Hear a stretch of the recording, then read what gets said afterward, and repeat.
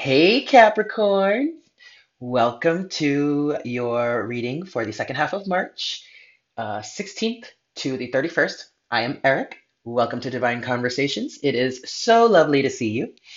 Um, yeah, let's just get into it, shall we? A little bit of shop talk. I am available on Instant Go if you have an iPhone or a iPad. The link to my Instant Go account is, or profile, excuse me, is um, in the description box below.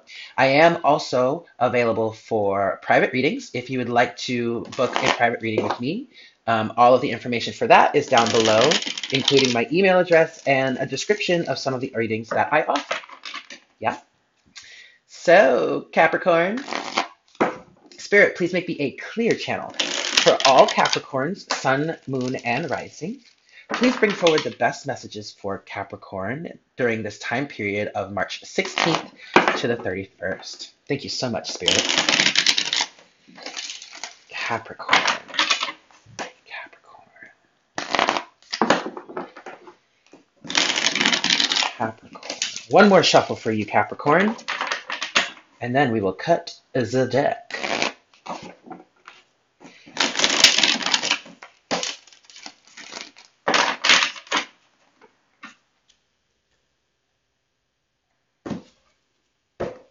Capricorn. All right, Cappy, what do we got for you?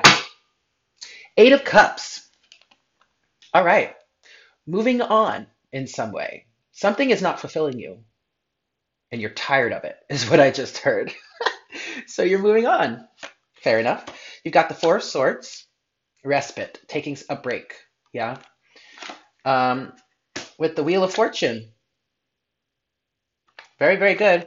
Karma, I'm hearing. And look at that. The lovers. Ooh. So what I'm seeing here is yes, this definitely could be um, relationship relationship oriented. Um, um, but what I'm really getting here is a choice because the lovers can talk about a choice, right? Um, making a choice. And in, in a lot of cases, the lovers is making a choice towards yourself. Um, what I'm getting here is there was a moment of rest, of respite here with the Four of Swords that helped you gain a lot of perspective. And now you're realizing that this, whatever this situation is for you, um, is unfulfilling. So you're moving forward with it. And um, the Wheel of Fortune is turning in your favor. So this is talking about divine timing, but it's also talking about um, karma reaping what you've sown. Um, yeah, let's go. Let's get deeper into this story here. First, you have the star, wish fulfillment. Okay, you've made a wish for something, and and the Eight of Swords. Yeah. So, um, I really feel like, you know, you're wishing for something, Capricorn um, but you're you feel trapped somehow. You do. You feel trapped. You feel like you can't reach it. You know you're unfulfilled, but you feel like your wish is out of reach. And it's not.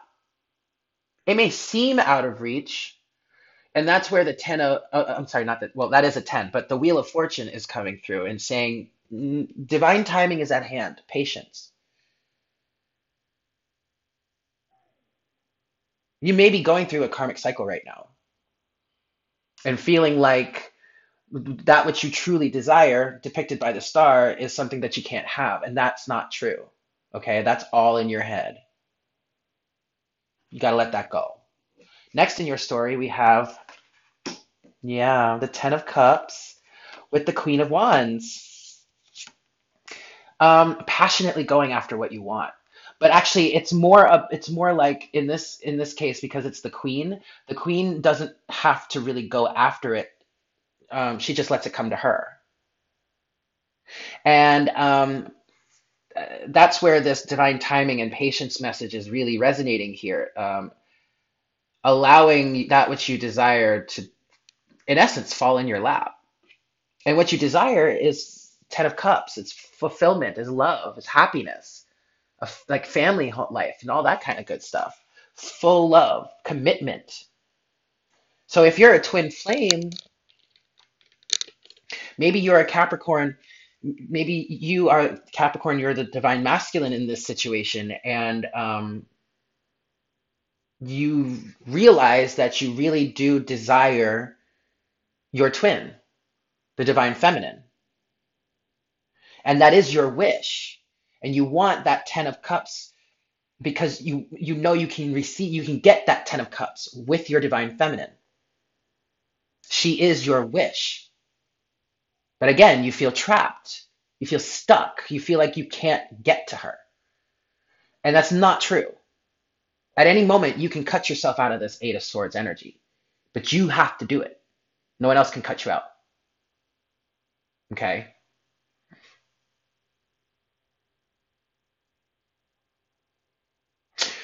The Wheel of Fortune, though, is also saying to you um, that what is meant to be will be. So if you are a twin flame, and Capricorn, you're the divine masculine, or even Cap- if you're the divine feminine Capricorn, what is meant to be will be.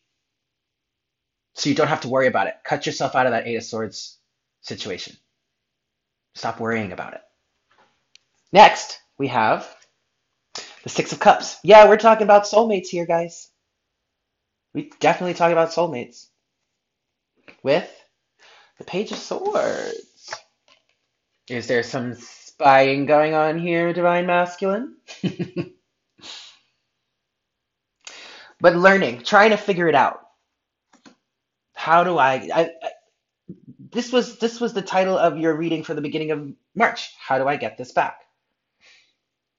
So you could very well be spying on your divine feminine, trying to figure out how to move closer towards him or her.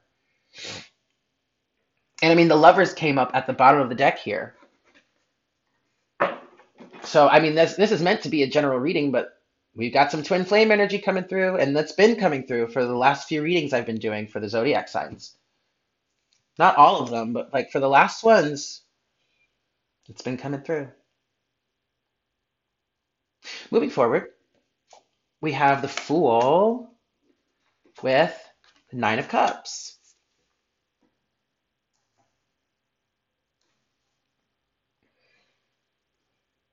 Hmm. Well, first of all, Capricorn, don't drink your sorrows away. Okay. Um, but you're, but, but I mean, especially with, you know, how you have the uh, the Eight of Cups and your overall energy in moving forward, I mean, this is a big leap of faith for you in, in many cases, Capricorn. But again, with the Nine of Cups, we've got wish fulfillment and we've got it right under the star. So you've got wish fulfillment from both a spiritual level and a physical 3D level. That is a great sign. So then again, there's really no point in staying stuck in this Eight of Swords energy. Just cut yourself out of there, man. You don't need it. It's not going to help you. It's only going to make things harder for you, really, moving forward. The King of Wands. Look at this, guys. Look at this. Not only do we have the counterparts, but we have them showing up right, right next to each other.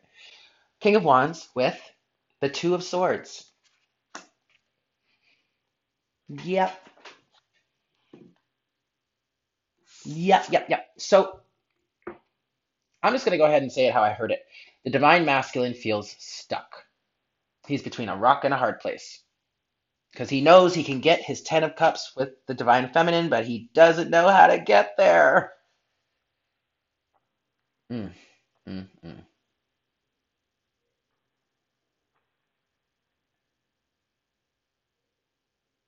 Yeah, that's what I'm picking up for that. Okay, finally in your story, we have the Three of Pentacles, okay, with the Seven of Wands. Defensiveness.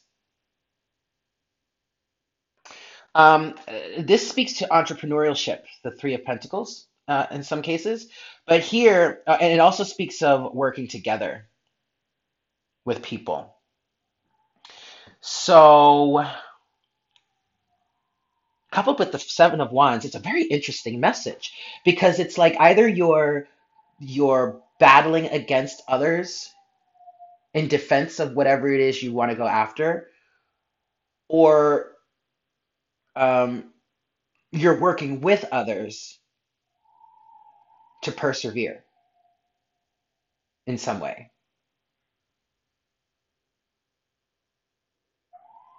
You could also be working with yourself in the Three of Pentacles. Like you could be like mustering all of the cooperation for you with yourself that you can to battle through this. But what I'm picking up for you, Capricorn, is that um, your decision has been made and you are trying to get there. You know you need to walk away from something. You know something's not fulfilling for you anymore. And the universe has your back, is what the ten of oh, what I'm sorry, what the Wheel of Fortune is also saying. The universe definitely has your back. The t- divine timing is at hand, and um, what is meant to be will be. Right?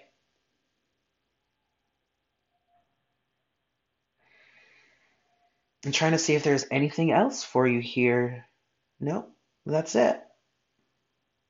All right, Capricorn. There you have it. Um, thank you so much for joining me. I hope you guys um, stay well. Much love to you all, and I will see you for the first half of April. Yeah? Take care, guys. Bye.